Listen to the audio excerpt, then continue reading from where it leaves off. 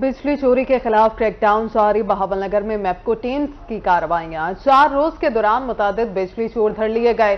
35 मुकदमा दर्ज मुलजमान की गिरफ्तारियों के लिए छापे। बिजली चोरी करने वालों पर उनतालीस, उनतीस लाख पचासी हज़ार रुपए जुर्माना आयद कर दिया गया। डीसी का कहना था कि बिजली चोरी में मुलवस किसी भी बाअसर शख्स को मुआफ नहीं किया जाएगा। आपको बता रहे हैं, बिजली चोरी के खिलाफ क्रैकडाउन जारी है। बहावल नगर में मैपको टीमों की कार्रवाइयाँ सामने आई हैं, जिसमें चार रोज के दौरान मुताद बिजली चोर धर लिए गए हैं। पैंतीस मुकदमा दर्ज, मुलजमान की गिरफ्तारियों के लिए छापे भी जारी हैं। बिजली चोरी करने वालों पर उनतीस लाख पचासी हज़ार रुपए जुर्माना आयद कर दिया गया। डीसी का कहना है कि बिजली चोरी में मुलविस किसी भी बासर शख्स को माफ़ नहीं किया जाएगा। तफसीलात जानेंगे कासिम अली शेख से। कासिम बताइएगा कि अब तक कितने बिजली चोरों को गिरफ़्तार कर लिया गया है?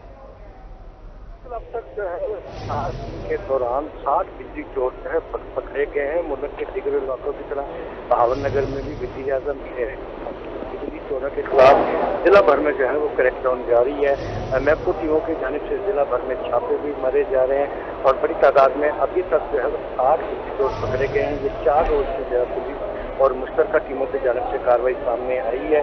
जबकि बिजली चोरी करने वालों पर उनतीस लाख पचासी हज़ार रुपये जुम्मन भी आयद किया गया। मुसद जो नाबहिंदगान है, उनकी बिजली मुनतद कर दी है। बिजली चोरों के खिलाफ ऑपरेशन इसी तरह जाएगा ये डिप्टी कमिश्नर से जो टास्क है उनका कहना है कि जिला बिजली रहे जाएगा तो इस तरह मतलब के टिकट इलाकों की तरह में